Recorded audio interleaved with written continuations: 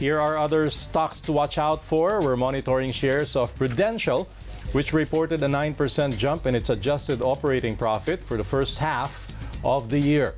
This sent the stock higher by 1%.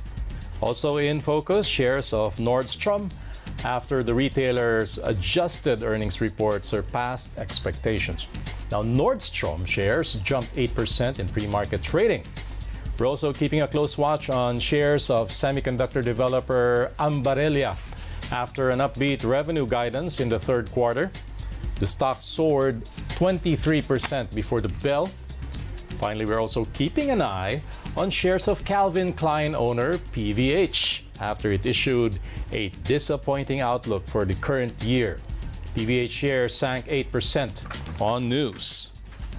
Asian markets see another mixed close ahead of major news from the United States, the weak corporate earnings in China.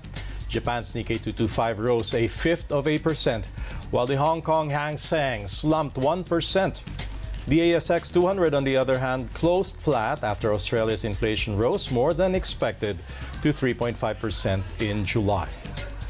Here at home, the local bourse joined decliners with the main index falling two tenths of a percent despite net foreign buying of over half a billion pesos.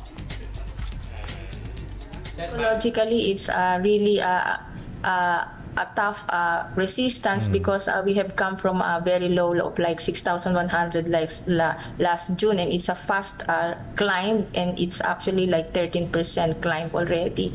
And uh, the what, what is the support of that climb? It's really just foreign. Of course, it's foreign buying. I think if the foreign inflows uh, create a critical mass, uh, generate more inflow, then we can have like 7,000 as the new support. So I think it depends on the, the flow, on the weight of money and not so much on, uh, uh, of course, fundamentals count, but uh, it's really the, the dollar becoming uh, weakening and then uh, making us attractive, especially the bonds, hmm. especially uh, dollar bonds of emerging markets, not only equities.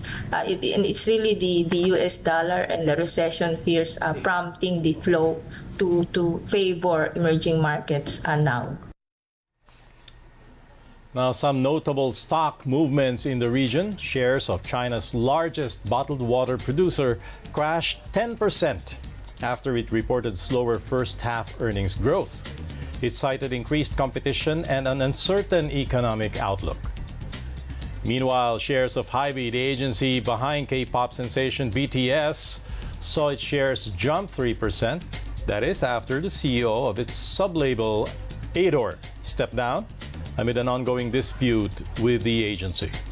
Still in Korea, shares of Hyundai Motors surged 4.6% after it set a target of a 30% rise in sales by 2030, with plans to double its hybrid lineup. It also plans to buy back up to 4 trillion won of stock, that is between the years 2025 and 2027.